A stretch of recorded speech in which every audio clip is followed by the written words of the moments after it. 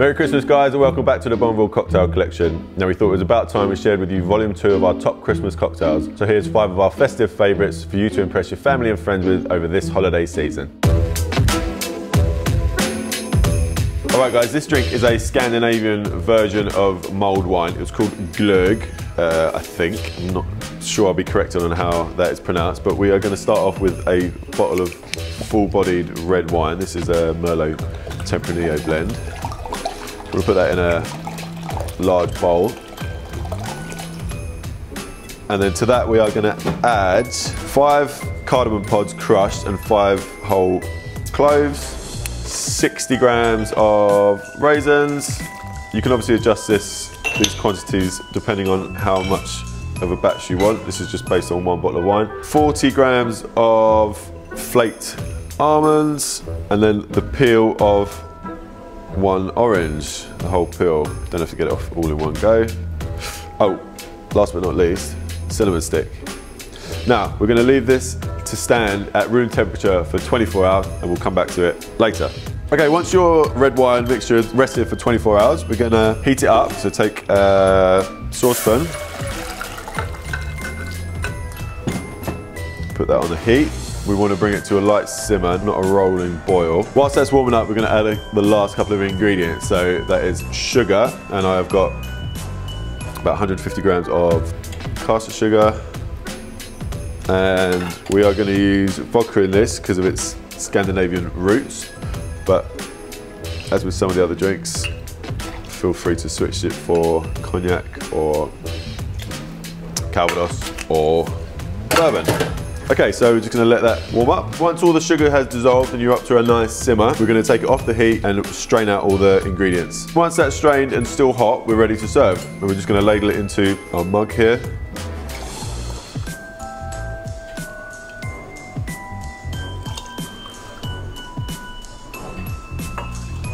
And we'll just garnish it with a few fresh raisins and almonds. And that is glögg.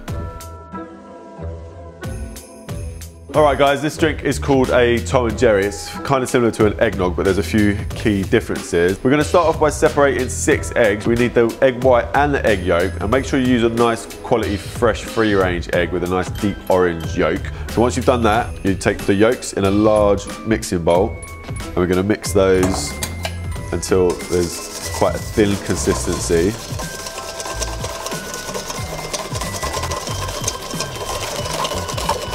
We start adding the sugar slowly. So this is 750 grams of caster sugar. Add it gradually.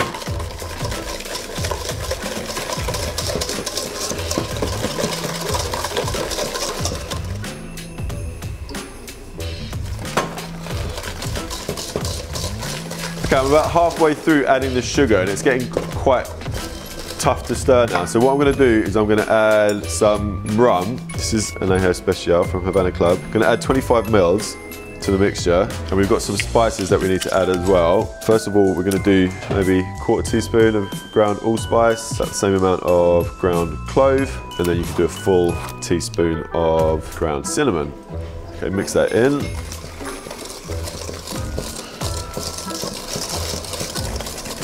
And then continue to add the sugar.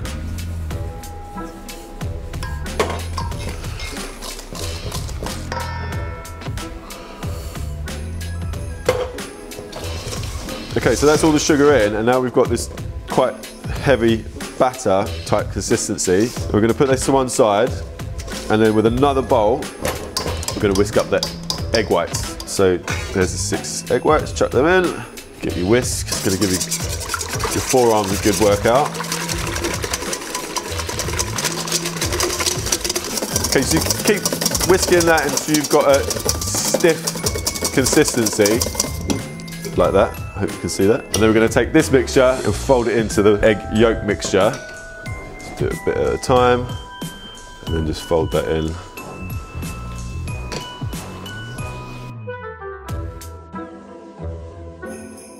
So once you've got your egg whites folded in, you're going to have a nice light batter. You can store this in the fridge use it another time if you want. Add a teaspoon of bicarbonate of soda and it will stop it from separating. But we're gonna use this straight away. I've got here a glass mug that I've pre-warmed. We're gonna add two spoons of the batter. Try not to make a mess. Let's go for another one for luck, it's quite a small spoon. And then we're gonna add 50 mils of cognac. You can change this up if you want. You can go with rum again or Calvados or bourbon. Any of those will be delicious. And then we're gonna finish by topping it up with boiling water. Give that a stir. And we'll just garnish with a dust of nutmeg. And that is a Tom and Jerry. Next up, we've got another hot drink, which is uh, hot spiced cider. Not a very imaginative name, but we're going to start with a bottle of good quality cider. This is uh, organic cider from Wyld Wood. We're going to go into a pan and then add to that two cinnamon sticks, two cloves. I've got some cracked allspice berries, two or three, and some whole cloves. Go for about eight. And that's it. Okay, so once your cider and spices have simmered for about two hours, we're gonna take it off the heat. I've strained it into this jug here. Make sure you strain it carefully, don't spill it everywhere. You can serve that if you want, it's, it's pretty much good to go. But we're gonna add some Calvados to ours. If you want, you can add some sugar if you want it a bit more sweet. But we're just gonna stick with the Calvados. So we're gonna add 40 mils straight to the glass. We're gonna serve it from and literally just top it up with the hot cider and we're going to garnish with a cinnamon stick. And that is hot spice cider. All right guys, next up we are going to make uh, another slight variation on the eggnog and this is called General Harrison's Nogg and this is a recipe uh, adapted from a Jerry Thomas recipe by our old mate Dale DeGroff and we are going to start with more Calvados, go 50 mils of that and more cider and we're going to go 70, 80 mils of that. Some sugar syrup, 15 to 20 mils, depending on how sweet your Calvados and cider are. Then we need some bitters. Dale recommends using his pimento bitters, but uh, we don't actually have it, sorry Dale, so we're gonna use the Bitter Truth's Creole bitters instead. A couple of dashes of that. And last but not least, we are gonna use a whole egg. So this is gonna need a real hard shake over ice.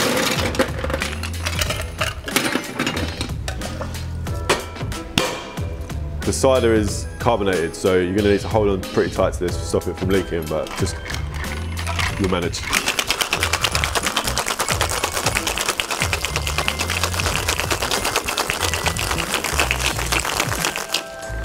That should probably do it. I forgot to say, General Harrison was uh, the shortest serving president of America. I'm told he was only in office for one month before he died of pneumonia.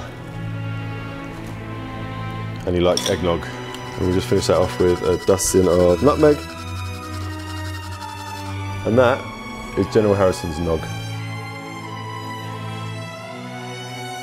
All right guys, last up we've got a really tasty recipe for a festive party drink and this is a champagne punch. We're gonna do a shorter version of it for like two to four drinks worth, but we'll put the spec for the full version in the description. So we're gonna start off with our first ingredients. Just take a handful of pineapple chunks, a handful of mixed dark berries. So we've got blackberries, cherries, some grapes in there, some black currants. This is half a orange peeled and quartered and some pink grapefruit, like a quarter of pink grapefruit. A couple of spoons of sugar and then we're just gonna muddle that all together.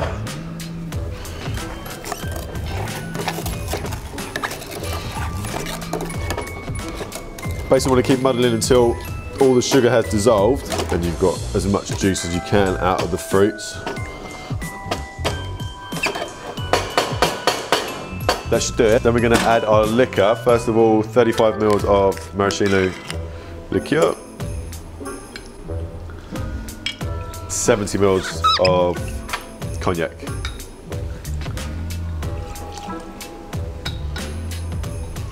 All right, give that a stir. Now you want to stick it in the fridge for a couple of hours. Okay, once that's sat in the fridge for a couple of hours, we're gonna strain out all the liquid. So take a big sieve, pour out the contents, just push out as much liquid as you possibly can. So that is now ready to use. So get your glass you're gonna serve in. We're just gonna use a big wine goblet, put some ice in there. We're gonna go 50 mils of this liquid. And then just top with champagne or Prosecco or Cava, whatever you have. Beautiful. And then we can just finish that off with an orange twist. You can chuck some berries in there as well, whatever berries you used earlier. And that is a champagne punch.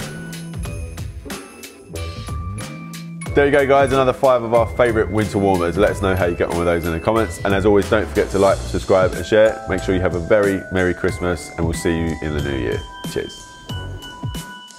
Guys, last up we've got a really nice recipe for a festive party. and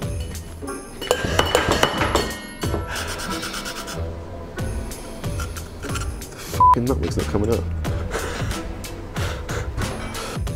then we're gonna add our liquor.